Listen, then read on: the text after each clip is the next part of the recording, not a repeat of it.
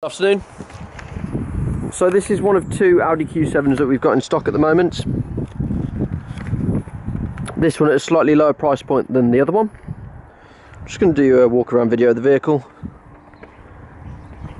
We currently have lots of 4x4 stock, so if it's not a Q7 that you're after, please do have a look at the other cars. But I just wanted to show you the overall condition of this car because it is in very, very good order is the S-Line, so it's got the nice alloy wheels, it's got the half leather interior, amongst other options like satellite navigation, electric seats, it's got cruise control, big centre armrest, two cup holders, the car's got loads of storage,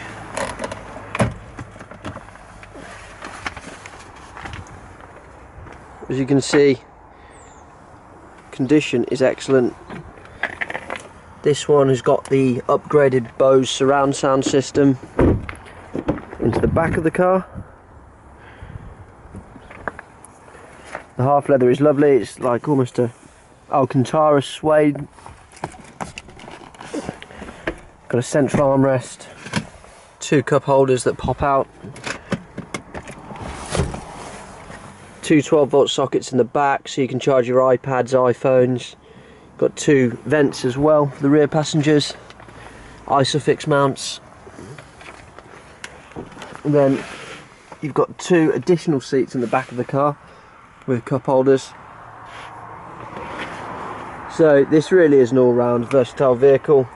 Rear seats are ideal, perhaps if you're collecting grandparents or going away for the weekend and you just need two more seats that otherwise fold down into the floor. The vehicle's also got the electric tailgate. As well as that, you can actually adjust the ride height at the back of the car. So as you can see, the car is actually lowering down. Perfect this time of year if perhaps you are collecting a Christmas tree and you need to get access to the back a little bit easier. You've got additional storage under the floor, a full set of floor mats, 12 volt charging socket in the back as well, and then the boot is closed at the touch of a button. So let's jump into the driver's seat. I'll start the engine and show you some of the features of the car.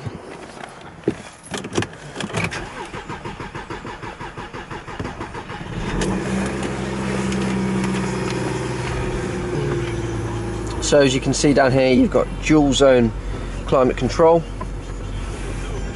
The car's got an automatic transmission, park reverse, neutral drive and sport. You can also put it into manual. You've got two paddles to shift up and down the gears behind the steering wheel. The car's also got satellite navigation. It's got the Audi MMI system You've also got FM, AM radio, a generous glove box, cruise control, like I said, um, parking sensors front and rear, auto white lights, heated folding door mirrors, child lock, all round a very, very nice car.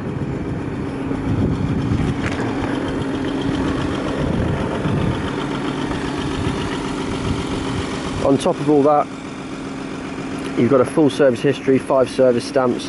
The last service was carried out at 98,000 miles. It's got an MOT until May 2017. 106,000 miles on the clock, which for a car with this engine, 3 litre diesel, is not very many at all. You could easily double that mileage just so long as you maintain the servicing. We're advertising this car for 13290 so if you would like to pop in and have a viewing or even test drive the vehicle please do give us a ring and we can arrange that for you. I hope you enjoyed the video and I will speak to you soon. Thank you.